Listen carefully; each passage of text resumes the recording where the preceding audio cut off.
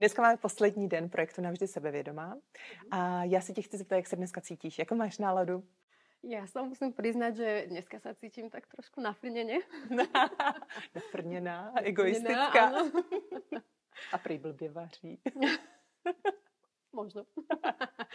uh, ale inak uh, veľmi dobre. Veľmi dobre sa cítim. Uh, a, a toto prostredie je naozaj také uh, priateľné, ktoré príjma, že vlastne uh, nesúdi, uh, nehodnotí a to je na to bezpečné prostredie v podstate. Mm. Úplne bezpečné. A ja sa tu cítim fakt veľmi dobre. Že môžem byť sama sebou, môžem sa otvoriť a čokoľvek poviem, tak v podstate každému to je úplne jedno. Že som tu vlastne sama za seba a môžem byť tým, kým som naozaj.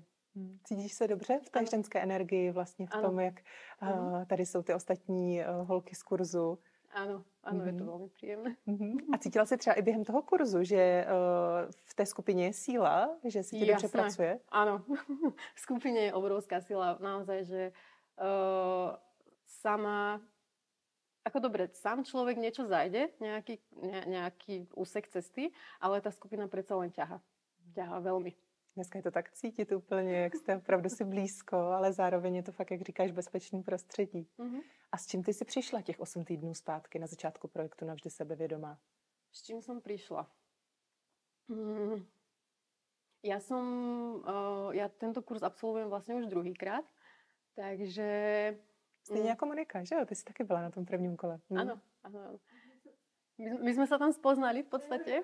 Áno, a, a úplne fascinujúce bolo, že my sme sa predtým nikdy nepoznali a my sme si úplne sadli. Mm. Proste, ako môžem povedať sama za seba, tak ako absolútne.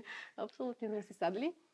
No a, a, a keď, bolo to, keď bolo to prvé kolo, tak um, mi to prišlo tak, že ja som si upratala taký ten hrubý bordel vo svojom živote. A teraz to druhé kolo som začala vnímať viac do hĺbky a mm, veľa vecí som tam pochopila inak, ktoré mi napríklad unikali pri tom prvom, alebo som nestíhala, alebo som tomu nerozumela. Mm. Takže teraz to išlo viac do hĺbky.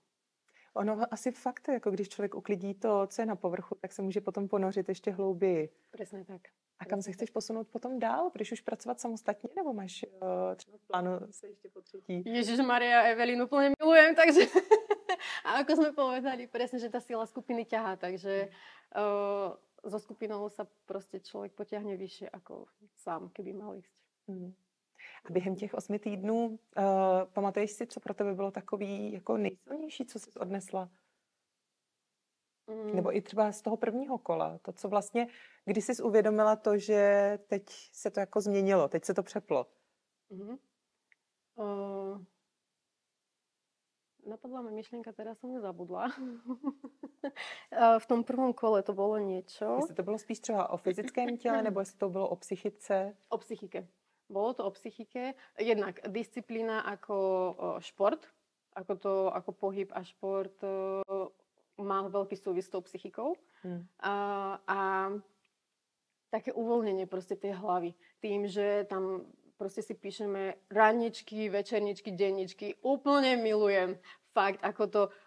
Všetko to pustím na ten papier a mám proste čistú hlavu a potom tá hlava funguje úplne v iných dimenziách a môžeš uh, vlastne úplne inak rozmýšľať, iné nápady prichádzajú, je to všetko také voľné, také ľahké, všetko tak plyne. Mm. Takže, ako hovorí Evelyn, vybliť sa na papier a potom už pekne proste s tým, s tým čistým štítom ísť, ísť ďalej. Mm. Takže to je pre mňa úplne najviac, to vypísanie sa. Hmm. Pisovanie.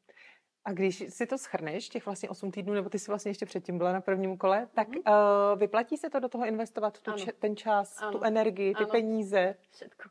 Mm-hmm. Všetko. Je to uh, moja najlepšia investícia, ktorú som doteraz si sama sebe dala.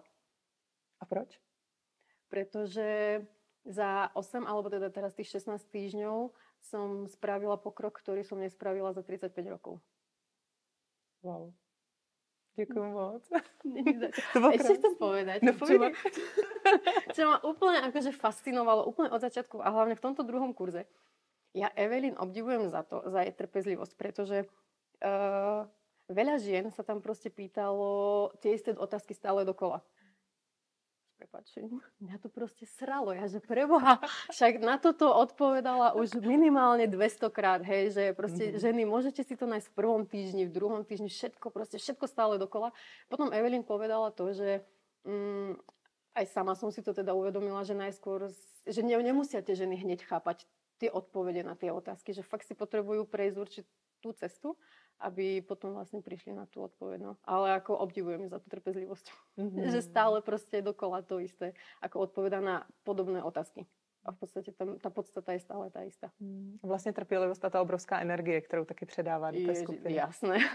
Mm. To bylo vidět dneska, jak vlastně úplně ta energie tam je v té skupině. Tak to žiarilo. Mhm. Ano, ano, mm. ano. Bylo to super. Tak moc děkuju. Děkuji, Maja.